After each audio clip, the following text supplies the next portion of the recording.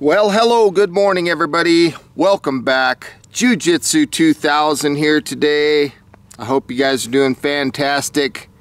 I'm back, and today I have an interesting video for you. Today I want to talk about Alone the Beast. Season 1, Episode 6,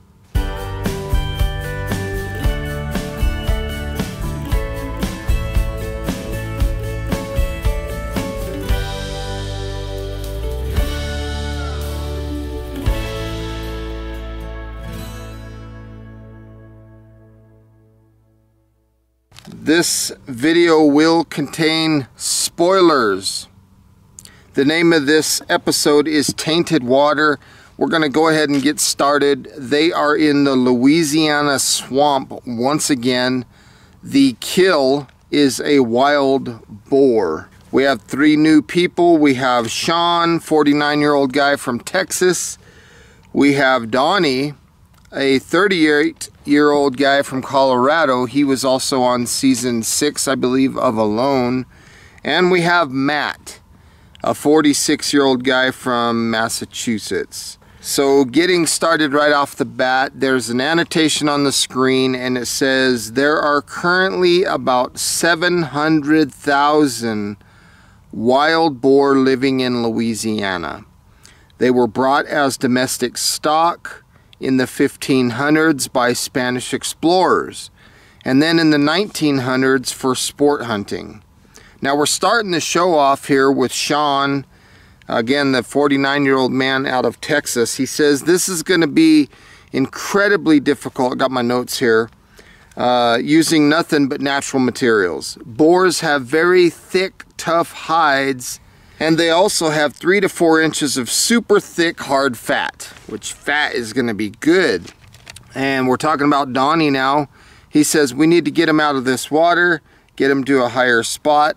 So they decide to pick the boar up and carry it, which is smart. The boars, you know, when they dropped it, it was laying in water. You know, when the flare got up, went off and they showed up on the carcass, it was halfway underwater. Now we're talking about Matt. He says he wants to get it out of the water quickly so that it doesn't bloat and we want to keep other predators away from it. We don't want to get any blood in that water, which is smart. Matt's very smart by saying that. There's an annotation that comes on the screen and it says Louisiana has the highest population of alligators at almost 2 million. Most of them live in coastal marshes and bayous. Now back to Matt, his background, he says he's surviving off the land. He began when he graduated high school. He decided to travel the country for 10 years, finding what nature had to provide and researching native plants. Now Matt's got kind of a different character. He's a little, he's cool, but he's a little weird. and I mean that with all the respect in the world. For Matt, if you're watching, much love. You're a weirdo though. and I mean that as a compliment. And he says he's been living this his whole life. He lost his wife and in the past couple of years he's been working hard so he can feed his son. He's hoping to come out of this with some mental strength that he can be proud of again. And now we're talking about Donnie. The swamp water is extremely nasty. You don't know what's lurking underneath it. There's gators, there's cottonmouths. Anything can be sitting in that swamp. Just waiting for you to put your foot into its mouth. You've got to be careful out here. There's an annotation that comes on the screen and it says Louisiana is home to poisonous snakes like cottonmouths, coral snakes, copperheads, and rattlesnakes. Donnie says, we don't have an axe, we don't have a hatchet, a saw, or anything to that extent. Now, for those of you who might not know, Donnie has a background in wilderness self-reliance and primitive skills. He was on Alone Season 6 in the Arctic and got extremely sick while he was in the Arctic. He couldn't hold anything inside of his body. And as a guy who suffered a heart attack at the age of 37, he says one of the key things is just staying hydrated. He didn't last as long as he would have liked, but he gained a lot from it. He was disappointed in his performance in Alone, and he's not going to tap out on this one, he says. He said, There's no rocks in the swamp, so the next hardest thing that we can find is shells. And then there's another annotation that comes on the screen and it says over thousands of years, plant decay builds up on the swamp floor. This accumulation of soil buries solid materials far below the surface. Now back to Donnie, he says raccoons and other critters munch on these clams and they hide them and they cache them. So he's hoping to find a clam shell this for that to be their primary cutting implement out there. And then as he's looking around he finds two shells and he starts fracturing them and then there's an annotation on the screen that says the process of fracturing solid materials like flint obsidian or even shells to create cutting tools is called knapping the oldest stone tools were created 3.3 million years ago. Now it's 83 degrees Fahrenheit outside. Now we're going to talk about Sean a little bit. He said survival skills started when he was in the Marine Corps. He learned a strong mindset. You just don't quit. You have to have the mental fortitude to push through and make it to the other end he starts cutting the boar. He says there are very few goals in his life that he hasn't attained, and this is one of those goals for him to make it to the end of this challenge. I like these these participants. They're good people so far. They're entertaining. Now we're moving forward talking about Matt again.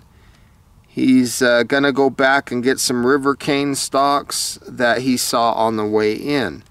He's in calf deep water and he says river cane has some silica in it. It's like glass. If they can break it thin enough, they should be able to cut the boar open. Donnie decides he's going to go work on fire.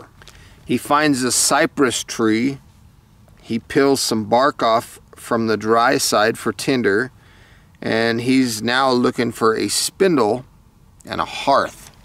And Matt decides to go dig a water seep. So once again, they're digging a seep well. So very, very smart on Matt's part to do that. Sean, he says cane is working much better for cutting the organs out.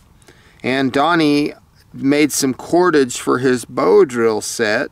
It's been an hour since he began working on the fire. Uh, it's raining now, and now it's two hours later, three hours later. Time is just kind of taken off. The rain's really messing him up. He's using a shell to make his set, which is extraordinarily difficult in the wet and rainy conditions. Now he's four hours into this fire already. He doesn't want to lose this meat, so he's really pressing for fire, even though the chips are really stacked against him primitive fire is already difficult enough in dry conditions, much less in rain and wet and humidity and stuff like that. I can only imagine what Donnie's going through. I know that it's tough, no doubt about it. And like I said, he's afraid of losing the meat. Then an annotation comes on the screen and it says above 40 degrees Fahrenheit, bacteria such as salmonella doubles every 20 minutes. Um, now he's five hours into this fire. His bow drill keeps breaking, so he decided to switch to the hand drill. I notice on the hand drill set that he's on his second notch. He's getting tired. He's being real with himself. The fact that he's tired, the fact that he's exhausted, the fact that he's losing his muscle memory. So he decides to recruit Matt and Sean to help him with the hand drill. They're going to do a three person hand drill where basically one guy goes and then he hands it off to the next guy and then the next guy goes hands it off to the and then they just keep rotating back okay So that's the method that they're using, which I thought was very smart on Donnie's part to be humble enough to swallow his ego and his pride and say, I need help. That's a huge, huge tool, in my opinion, in survival. He's able to, to recognize his weakness at this point. And I'm not saying Donnie's weak. Donnie's a, a rock star when it comes to survival. But to admit that he's having a hard time makes him strong. And they got fire as a result of this this uh, decision that Donnie made. Donnie says we can't let that fire go out, and then they all start laughing because they know how hard it is. They know how difficult the conditions are, and potentially that those conditions could get worse. So they decide to start smoking the meat, and after a while, they cook some of the meat and they eat. Now, Sean says it's been a rough day didn't get to build a shelter and temperatures at night are low 40s or lower. Shelter is our next priority. It's 45 degrees at night and Sean is snoring very loud. now we're on day two talking about Matt. He didn't sleep very much. Um, he said he needs to take care of his mind and body out there. He needs sleep. He needs rest, which he's right about that. Matt's right about that. And Donnie says, I didn't expect it to get as cold as it did in the swamp. And then again, another annotation pops up on the screen and it says nighttime temperatures can dip below 32 degrees Fahrenheit in the swamp. It's crazy. Donnie decides he wants to make a teepee type shelter. So he wants a high pitched roof six foot in the center with enough room for all three of them and even a small fire in the middle if needed. In the annotation again on the screen, it says the teepee's pitched roof is ideal for wet, swampy climates because it sheds water, keeping the interior of the shelter dry. Back to Sean here. He says they need several poles and there's not much dead stuff available, so they're going to look for live poles. We don't have an axe, we don't have a saw, so we're going to have to put base, uh, fire at the bases of these green uh, trees to burn cut them. So they're going to use fire to cut them down. Very smart on Sean's part. Matt says he feels like when he harvests an animal that he needs to pay homage to the animal. He needs to pay respect to the animal. And to him, he believes that if you eat the eyeballs of the animals, that you can see where they came from. Matt's a weirdo, but I like him. He's cool. He's kind of strange. hey man, whatever you believe in, that's cool. And so he ate the eye, he ate one of the eyes of the animal, and he says the boar had a good free life. And then Donnie kind of gets a little short with them for a second. And Donnie's like, dude, not to be effing around with the pig's head right now, this right this second. He says, I'm all about that, but maybe we can get cracking on this shelter. You know, Donnie's upset a little bit. I would be too, because out there you got certain priorities. You got things that you got to get in order if you're going to survive. And in my opinion, and I might be right and I might be dead wrong. But in my opinion, I think Matt is just trying to get some camera time. I think Matt's just trying to get seen and look cool on television. I'm sorry, but that's what I'm thinking. Rain's coming. They need shelter. Day three. Donnie and Sean are putting palm fronds on the shelter quickly. Matt has different priorities. He's playing with the frog a little green frog. He's got his glove on and he's got this little green frog. I mean, it's cool that he's in tune with, with animals and stuff like that, but come on, man. There's work to be done, bro. We need firewood. We need water. We need, you know, there's a lot to, that needs done. So I was like, oh my gosh, shaking my head. And then Sean wants to work on the boar's head to get some cutting tools. He wants the teeth, the tusks.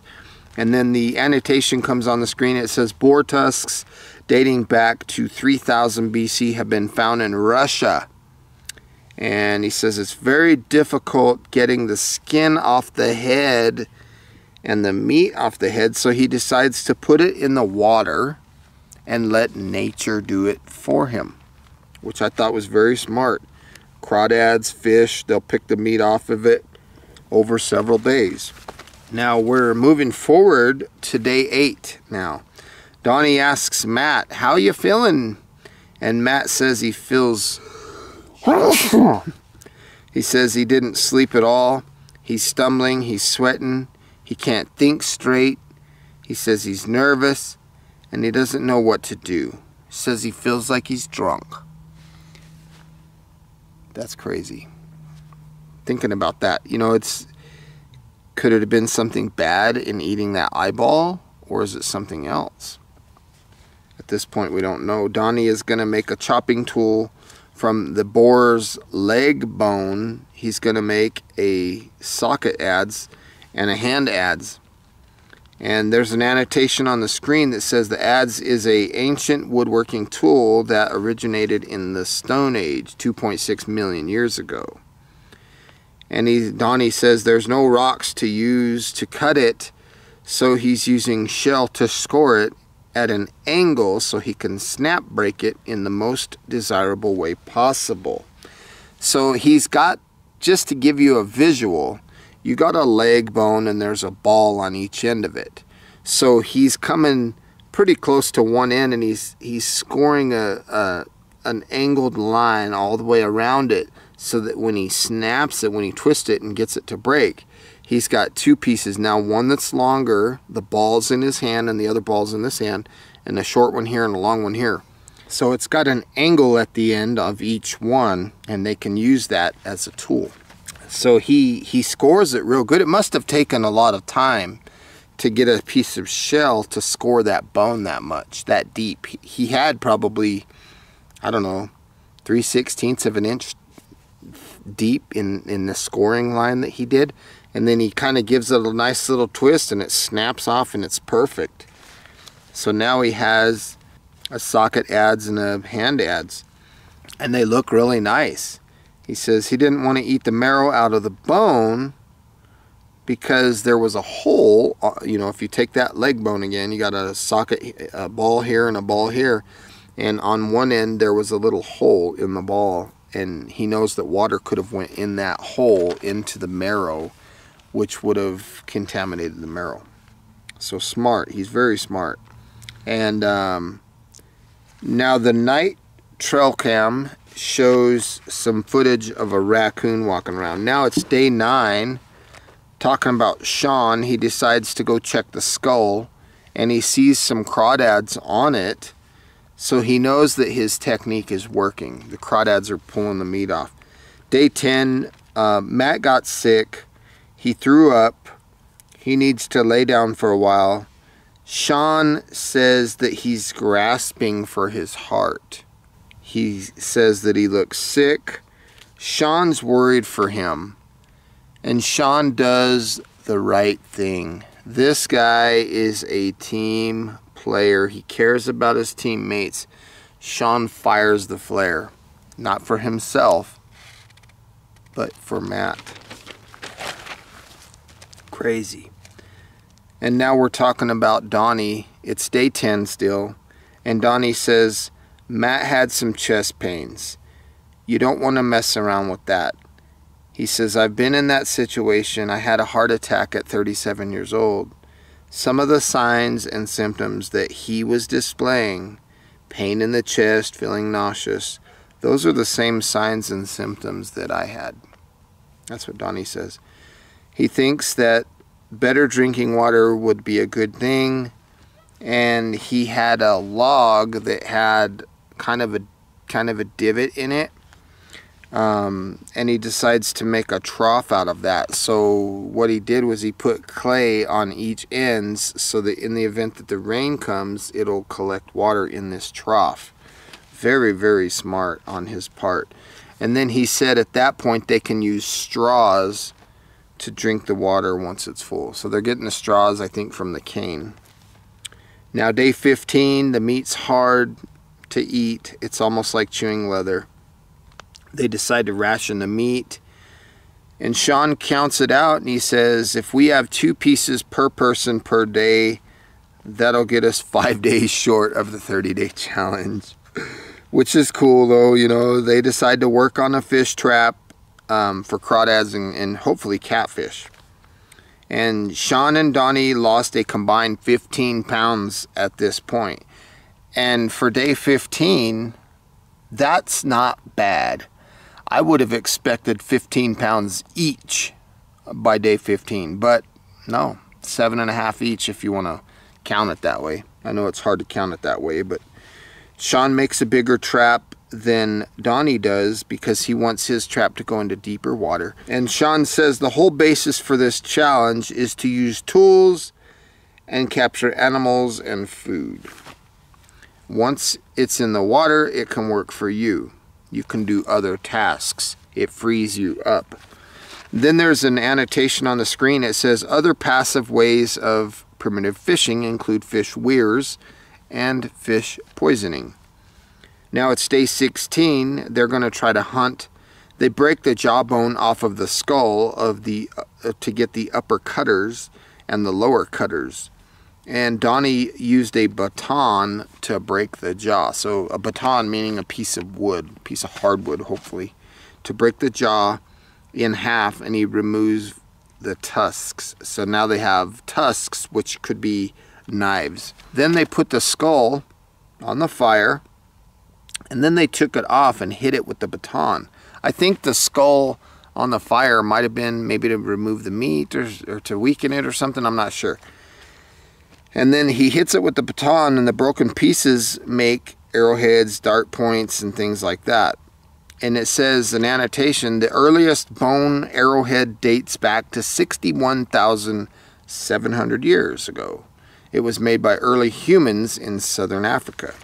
Sean is going to use an adze to work on the hide. Remember that uh, Donnie made the two adze, the long one and the short one? So that's what Sean's going to use to work on the hide. Day 17, they're hungry. Donnie makes an atlatl. Oh man, I thought that was smart when I saw that. There's an annotation on the screen and it says, although the atlatl is originally an Aztec weapon, variants existed throughout the ancient world for 17,000 years. Now we're moving forward. It's day 18, and they decide to take strips of the hide, soak them in water, and they're going to use these strips of the hide to adhere the arrow points to the atlatl shaft. So I thought that was pretty cool. They're going to attach these dart points to the atlatl. And they did, and it looks really nice. They did a good job now we're moving forward. It's day 20. They're out of food already. So about five days earlier than what they had predicted, which would have been five days. So they're 10 days short on the food. Actively hunting. Donnie hears a gator and they head back. Now it's nighttime. Thunder and rain come. Moving forward, it's day 25. It rained and Donnie goes over to the trough with the clay ends and he's got a little straw and he's drinking water from it. And there's an annotation that comes on the screen now and it says Sean and Donnie have lost a combined 21 pounds. That's still fabulous. It really is for day 25. That's still very good. They're going to check the traps and see if there's anything in there. They check both traps. Nothing in Donnie's, nothing in Sean's. So they're on their way back to camp, and Sean sees a possum. Donnie takes off. He runs back to camp, grabs the atlatl, comes back, and uh, and Sean tells Donnie, "You don't have a shot from there." So Donnie kind of repositions his his place and takes a shot at the possum, and he I think he hits it, and then it looks like Sean kind of spooks the possum to run towards Donnie. And like I said, Donnie takes the shot. He kind of hits it with the atlatl, but I don't think it, it I don't, it, well, it didn't kill the possum. So then he follows up with a club. He chases this thing. He follows up and he nails it with a club, kills the possum, and Donnie was definitely demonstrating his primitive hunting skills there. The atlatl, I think the broadhead of the atlatl hit the animal, but it didn't puncture, I don't think. Maybe the arrow tip broke off, I don't know. And um, Sean tells him, good work, dude. And Donnie says, we're going to eat tonight. And it's the same thing that our ancestors had to go through when they had to live. They had to live hand to mouth. And that's what Sean and Donnie are doing out there. They're using the boar tusk now to process the possum. And they eat. And they're happy. You know, that's day 25. Now we're moving forward. It's extraction day, day 30. Donnie, he says, today's the day that I that I've been looking forward to. I get to go home, I get to get a shower and a good meal. Sean, he says, I'm excited to get out of here. No offense to the swamp, but I'm sick of this place. I'm ready to go home. Back to Donnie, he says, I'm not having any sort of tools, and the only tools that you can create are from the hog or from the land, and you really have to be creative. You have to think. Sean says he thinks about the primitive people that must have lived there uh, staying out of the weather, trying to keep warm, the production of food to feed themselves, and he can't help but feel closer to them and have respect for the amount of work that it must have taken for them. Now, Donnie says teamwork's very important to any sort of survival situation, and he was fortunate to have Sean. He's a great guy, he's a team player, and they both got along exceptionally well. And I thought that was really cool of Donnie to give a positive shout, you know, to Sean. Thought that was cool. Sean uh, fires the flare. He says, so his time in the military, I saw a few things that I dealt with, plenty of hardships in my life. But this environment's tough. A lot of survival is mental. Even with the creativity or skills, there's always the struggle and you have to have the mental fortitude to push through and make it to the other end. That's what he said on the first day, same thing. And he says, well, I did just that, and I think I did it well. And I hope my family sees that if you're willing to do the work, that you can do anything that you set your mind to. And I agree with Sean. Those are some very good thoughts that he shared. Some very good, valuable information there. Now Don says, having a heart attack and having been sick in the bush before, my experience on the Alone was definitely short-lived. this is a hard environment to live in, but I prefer to be in this wild place. And this was an opportunity to me for me to see if I could achieve it. And I did. And I feel completely ecstatic and enthralled and I stepped up to the challenge. And that's it for the show. This was a very good episode. And my thoughts, my prayers, my respect, and, and, and my positive vibes go out to Matt. I don't know, there wasn't any kind of update on his condition, so I hope Matt's okay. You know, this is a television show, but it is real human beings out there, and I really hope that Matt's okay. I really do. And I want to say thanks to everybody out there that's been on this whole season of Alone the Beast for sharing their stories, sharing their skills for our entertainment. And if you guys are leaving comments on these videos, please, before you get real negative or anything like that, make sure that you try to have some empathy for these guys. You're not the one out there. They're the ones that are out there. And, and ultimately, we have to trust their judgment for the decisions that they make while they're out there. So with all that being said, folks, again, I want to say thank you for watching this, this video. If you haven't seen the rest of my series on Alone the Beast Season 1, I highly recommend it. Uh, this was a fun series. I don't know why they pulled the show off the air. All the episodes were, were outstanding. Um, I'm really hoping that they return for a Season 2 of Alone the Beast. And man, I'm ready. All they have to do is call me. I'm ready to go. So with that being said, folks, I love you all. Hope you guys are doing well. Thanks for stopping by. Leave a comment. Please like the videos. I need traction on them. And until next time, have a beautiful day. We'll see you then. Bye for now.